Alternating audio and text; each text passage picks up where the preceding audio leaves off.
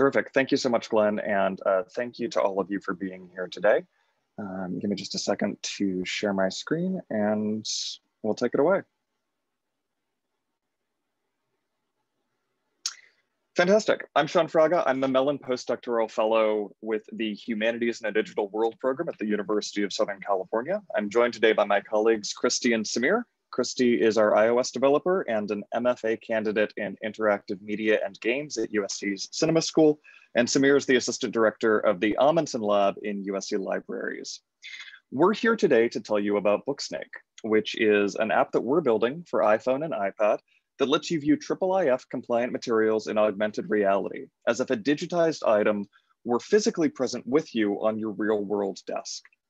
You might already be familiar with physical book snakes. These are the little weighted fabric tubes that you use in archives to hold down the items that you're working with. And just like those physical book snakes, Booksnake the app lets you hold down digitized archival material so that you can examine it. Let me show you what that looks like. Here we're using Booksnake to explore a map of Los Angeles held by the Library of Congress. Booksnake lets you anchor a two-dimensional digital image to a flat surface in the real world. You just tap to place, and then you can use your iPhone or iPad as a lens to explore the item, just like you would in an archive reading room by physically moving around it. And as you move, Booksnake maintains the item's relative position and relative size. It keeps the item pinned to where you placed it. In just a minute, Christy will take us through the technical side of Booksnake, how it does what it does under the hood. But I first want to tell you a little bit about why we're building this and about our goals for the project. Here's another view of Booksnake. Um, I'm a historian, my PhD is in history, and one of the joys of my work is spending time in the archives. The first thing that I ever paged as an undergraduate was a Northern Pacific Railway map in the Beinecke. And the experience of spreading it out and investigating it there in the reading room was electric. It was magical.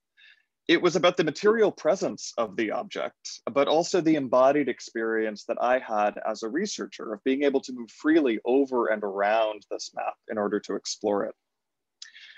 Our goal with this project is to extend that model of embodied interaction to digitized archival sources augmented reality offers a more intimate interface than a mouse or a trackpad. It's a way of getting closer to digitized sources. As an interface, augmented reality works by leveraging the unique capabilities of mobile devices. ARKit, shown at top, is Apple's version. Um, and it uses the cameras and gyroscopes and other sensors built into devices um, to understand where they are in physical space and how they're moving. But augmented reality as an interface is only valuable if you have something you want to look at. And this is where IIIF comes in. By linking IIIF to Apple's ARKit, Booksnake opens millions of digitized archival materials to new possibilities for research and teaching.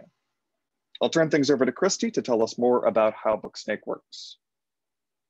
So whenever you're ready, take it away.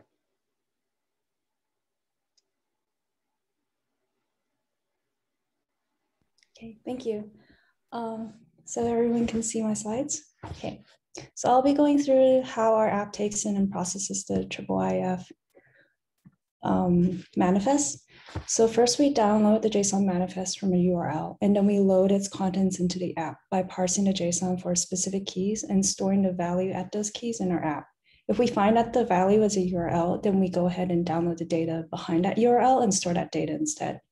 So then the app takes all that data and adds it to ARView, where you the user will be able to see those images and interact with them as if they were 3D objects in real space. So how is this information appearing in AR?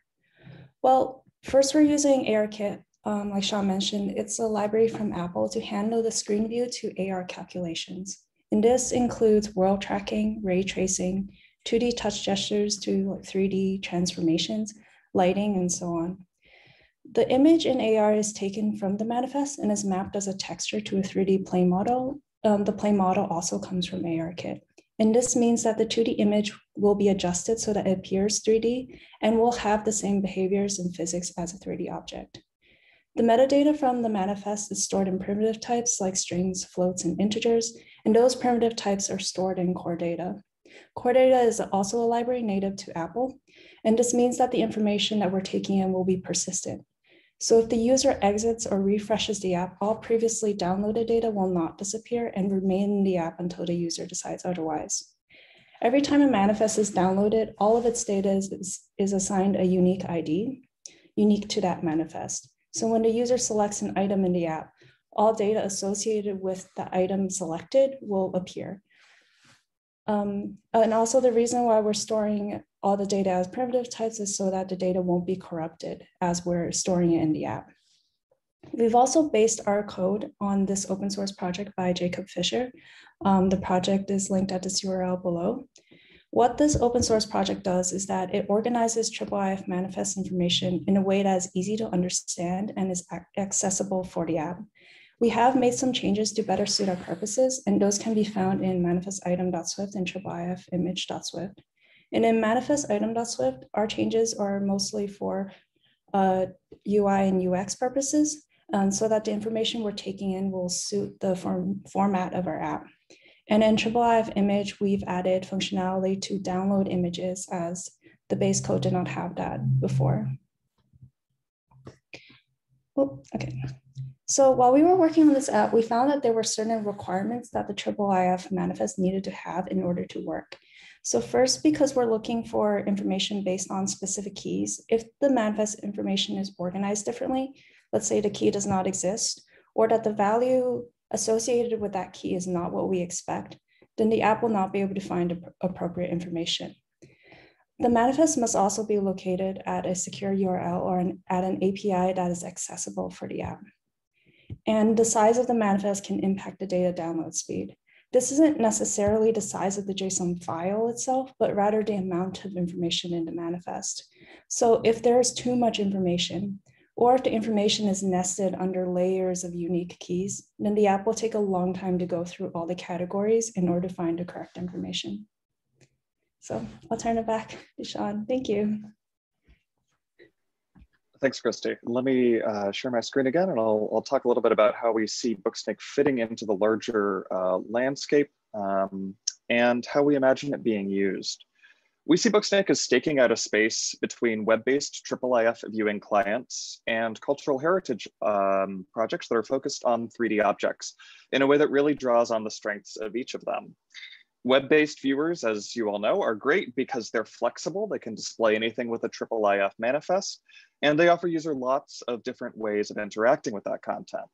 But they're necessarily limited by a user's screen size. Users have to click and drag in order to pan and zoom in order to fit what can be a very large object within the confines of their screen.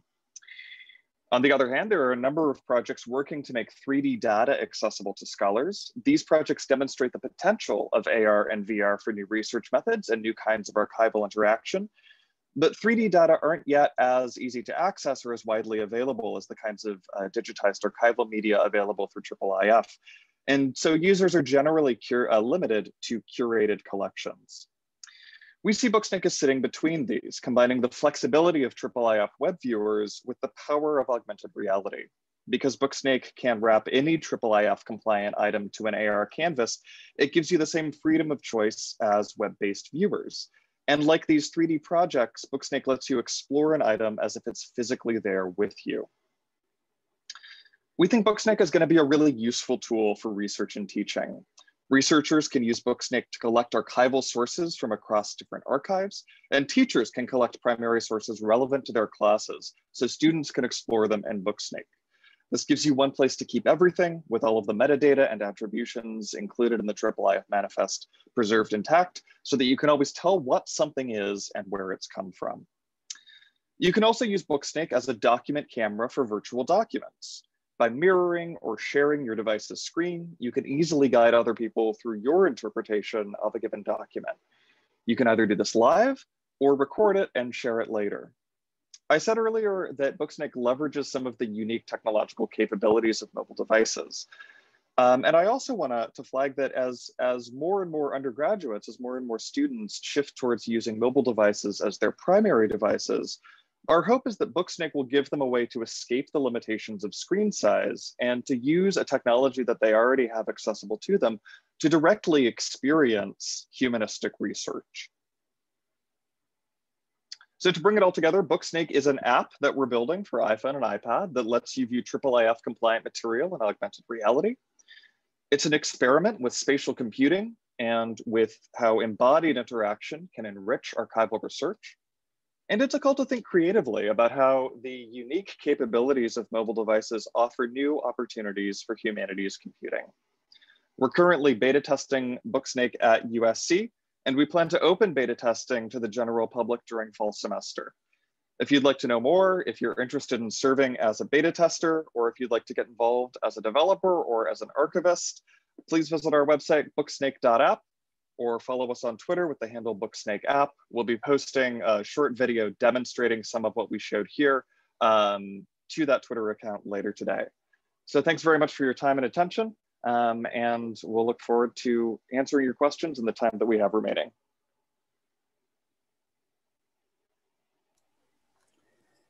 Thank you, that was wonderful. Um, so feel free to unmute yourself and ask questions, or um, I can read them uh, questions out of the Whova app uh, if you'd rather do it there. Let's start with what we see have in the, the Whova queue.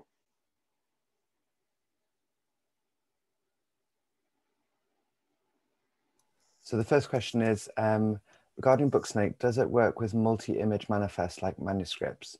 And how does it use the physical scale extension to project the object at the correct scale in reality? I love this question. Uh, this points to two of our um, research frontiers at this particular moment. Um, we know that multi-image manifests like manuscripts or, or maps or books are very important to scholars and uh, we're currently exploring the sort of UI and UX conventions um, that might make sense in order to interact with, with those kinds of materials in augmented reality. Um, so the current version of Booksnake, uh, the beta version that we're working with right now, um, displays single items, um, but we know that multi-image items and uh, recto or verso options um, are important, and that's that's something that, that we're working on, on building into the app. As for the physical scale, uh, this is also a really important question. IIIF manifests are fantastic for the amount of information they contain, but because they are a framework rather than a standard, uh, different archives have implemented the um, have implemented them differently and include different information in those manifests. Um, so we don't know yet. Um, we're working on on figuring out how to physically scale the items um, that are downloaded from, from these archives um, to their correct scale in reality. Um, that information is often included in, in the, the catalog records themselves. We're looking into using MARCXML as a, a source for that data, um, but we don't have an answer yet. So if you or anybody else on the call has ideas on, on how we can incorporate that into Booksnake, um, we're all ears, we'd love to hear. Uh, next question is, um, are you planning to make it available on Android? Uh, that's something that we're talking about. It's something pretty far down the development pathway at this point. Uh, we started with Apple and with ARKit because ARKit is um, extremely robust and well supported across the, the Apple mobile devices. Um, and uh, also because of Apple's deep roots in, in education and in making these kinds of things available. Uh, so we're starting with iOS for now. We're a small team, three of the four of us are here on this call. Uh, so Android as a development priority is, is something that's lower down our queue. Great, thank you. Uh, next question, how does your app decide what resolution level of IIIF image to use? This is something that is um, going to depend a little bit on, on which archives we're pulling from, um, especially because, well, no, uh, in order to keep things simple, I'll say that, that at the moment we are um, trying to balance between resolution on the one hand and file size on the other uh, with the Library of Congress, which is one of the, the archives that we've been working closely with at first in order to get their materials into the app uh, we found that a good compromise is the, the 50% scale of um, the images that they're hosting um, as a general rule. Uh, but this is something that we expect to explore in greater detail as we're able to incorporate uh, dimensional information and um, think about how we might check a resolution of a digitized item uh, in case it will in case it might display poorly at its real world size uh, in augmented reality is something that we might want to warn a user about. Great, thanks. And I think uh, Tom Crane's put some links in the chat about um, a physical uh, size extension to IIIF. Um, that's in the Whova chat. Um, but there's another question from Ronald Haynes. Um, any thoughts about making Booksnake multi-platform, say via WebXR? That's a great question. We're really too early to um, to say. Uh, that's not something that we've started exploring yet, um, but it's something we'd be very interested in talking more about with you.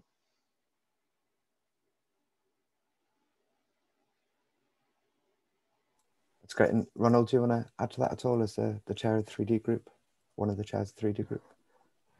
Thanks. Can you hear me? Yes. Great. Uh, thanks so much, Sean. I'm really happy to talk further. That's something we're tracking and experimenting with in uh, the IIIF 3D group. WebXR can do all of this and more. So. Yeah, it would be great to talk further. We've been following uh, the IIIF 3D group sort of at a distance. And uh, as soon as there is an emerging framework for 3D objects, we would love to incorporate those into Booksnake as well. Thank you too for the uh, the various badge references earlier. Uh, lots of our related projects. Thanks. Yeah.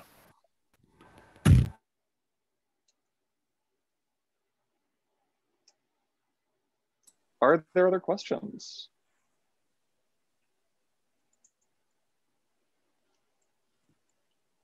Uh, at this point, I'll put some of our links into uh, the chat so that people have these handy. Um, links to the project website, uh, to the Twitter account. Um, and uh, here's that, that video that I promised that'll be posted to the, the Twitter account uh, later today.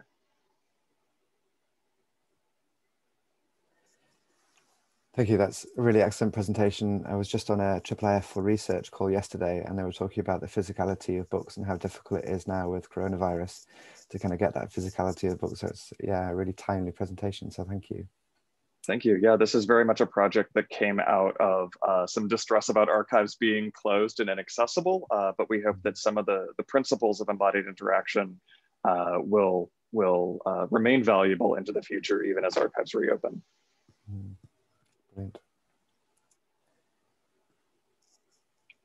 Okay, so I think if there are no more questions, uh, just thank you to all the presenters. That was really great. Uh, and I'll end the session there if there's no other questions. Terrific. Thank you, everybody. Thank you.